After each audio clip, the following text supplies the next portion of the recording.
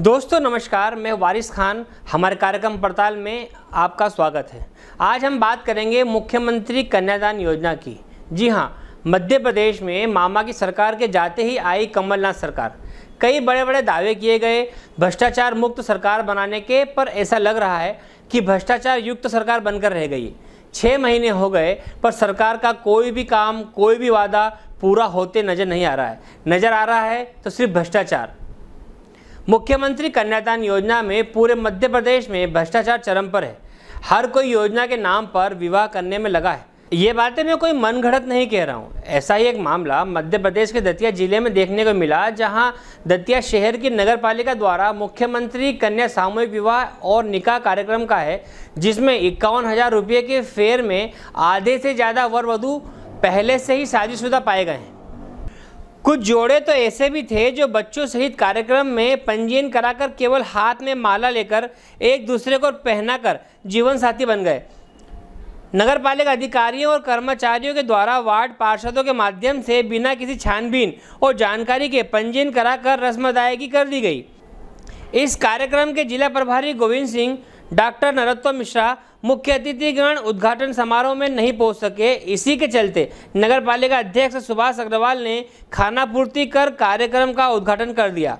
मध्य प्रदेश सरकार की मुखिया कमलनाथ द्वारा चलाए जा रहे सामूहिक विवाह और निकाह सम्मेलन में आज बड़ी संख्या में यह मामला सामने आया, जिसमें अधिकतर वर वधु लगभग एक से दो साल पहले परिणय सूत्र में बन चुके हैं।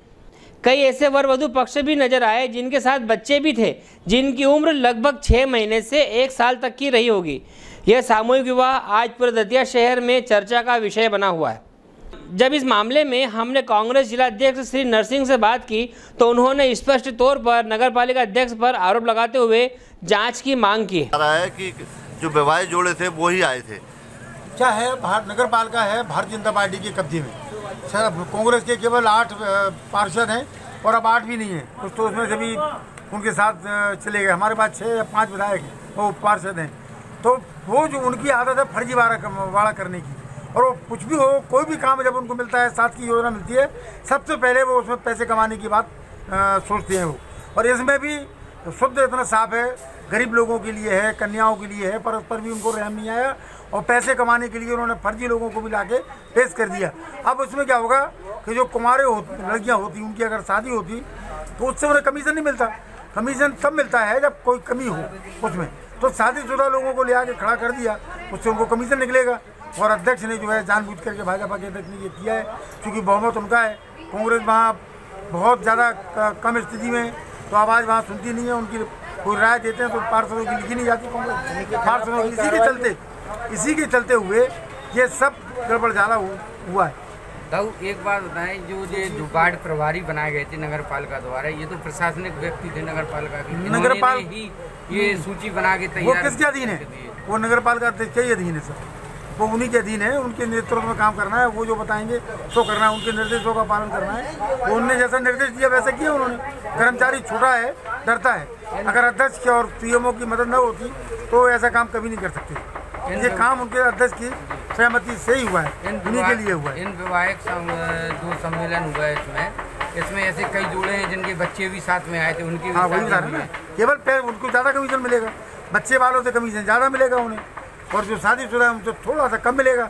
और जो बिल्कुल कुमारे हैं वो पैसा नहीं देंगे। इसलिए जानबूझकर उनसे पैसा पहले ले लिया गया होगा।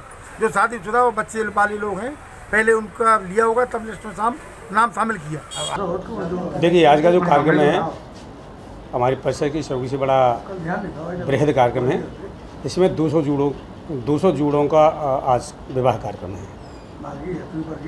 क्या क्या है उपहार राशि स्वरूप क्या दे रहे हैं इसमें शासन से इस तरह से इक्यावन हज़ार रुपये प्रति जुड़ा मिलता है जिसमें अड़तालीस हज़ार रुपये कन्या के खाते में जाता है तीन हज़ार रुपये में भोजन टेंट आदि ये रहता है। हमने समाज सेवियों से, कई लोगों से अनुरोध भी किया है कि जो भी कन्याओं को जो भी उपहार देना चाहें वो भी दे सकती हैं, शासन की ओर से तो अड़तालीस हज़ार रुपये की राशि उनको कन्याओं के खाते में जाएगी तो ये थी हमारी पूरी खबर मुख्यमंत्री कन्यादान योजना की, जिसका लाभ लेने के लिए कहीं ऐसा ना हो कि सभी कुआरे साजिशुदा हो जाए। तो देखते रहिए, हमारा कार्यक्रम पड़ताल। नमस्कार।